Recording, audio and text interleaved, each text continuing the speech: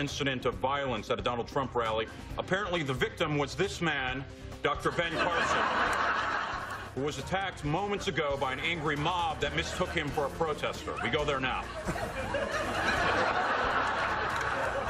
It's okay, I'm fine. Guys, what did I say? Not this one.